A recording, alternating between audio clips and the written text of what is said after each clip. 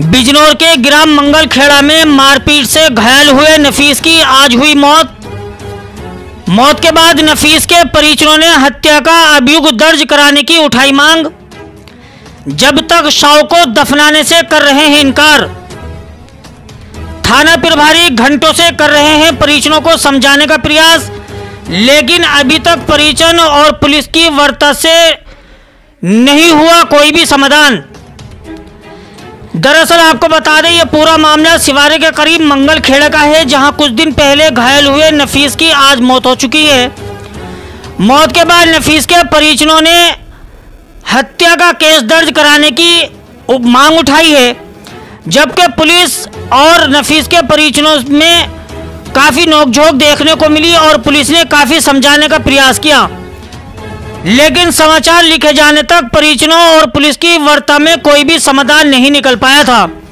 परिजनों का कहना है कि शव को जब ही दफनाया जाएगा, जब नफीस के साथ हुई लड़ाई करने वालों के खिलाफ हत्या का केस दर्ज किया जाएगा।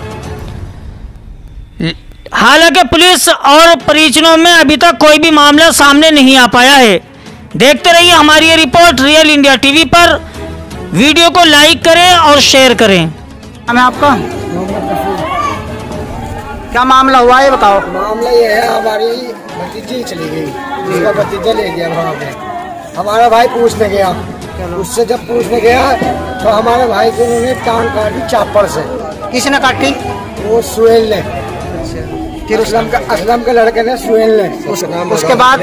उसके बाद एक असलम एक पप्पू एक है अरसद और जी एक है साकिब। उसके बाद इलाज कहाँ चल रहा था इनका? इलाज चल रहा था मुर्दाबाद। पहले बिजनौर चला फिर मुर्दाबाद चला। अब क्या हुआ? अब क्या हुआ भाई का इंतकाल हो गया। अब क्या कार्रवाई चाहते हैं पुलिस साहब? इससे ये चाहते हैं हम क्या बस उन्हें गिरफ़्तार करे जाए अंदर। कड़ी सजा मिलनी चाहिए उन लोगों को उनके छोटे छोटे बच्चे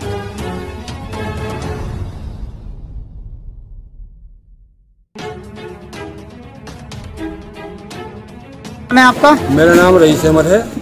मंगलखड़े का रहने वाला हूँ। और जो है ये जो जिनकी डेथ हुई है ये हमारे भाई हैं। ठीक है जी? वो भाई भी है कुटनदार भी है मतलब तेरे चीजरे भाई हैं। और जो है इनके साथ में बहुत ज़्यादा गलत हुआ है। इनकी एक महीना पहले एक महीना हो गया कितना? एक, महीना हो गया। एक महीना पहले इक्कीस तारीख को लगभग इनकी टांग काटी गई थी चापड़ से समझे धारदार चीज़ से। तो उसकी वजह वजह से जो है इनके पास में मामला खराब हो गया जो और पुलिस ने कोई सुनवाई नहीं करी न कि एसओ ने न सीओ ने न किसी ने कोई सुनवाई नहीं करी।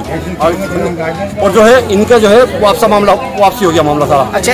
अब क्या कार्रवाई चाहते हैं? आप कार्रवाई ये है कि हमें इंसाफ मिले इस बात का समझे? और जिन लोगों को जिन लोगों ने ये करा है उनको सजा मिले। अच्छा इंसाफ ना मिला तो क्या करेंगे? इंसाफ ना मिलेगा तो फिर उसका अलग अलग हम निकाल देंगे। आगे तक जाएँगे अब ये मामला अब अब ये मामला रुकेगा नहीं बिल्कुल भी समझे? यहाँ से लेके हाई कोर्ट तक वहाँ तक हम हम काम करेंगे। ठीक है जी?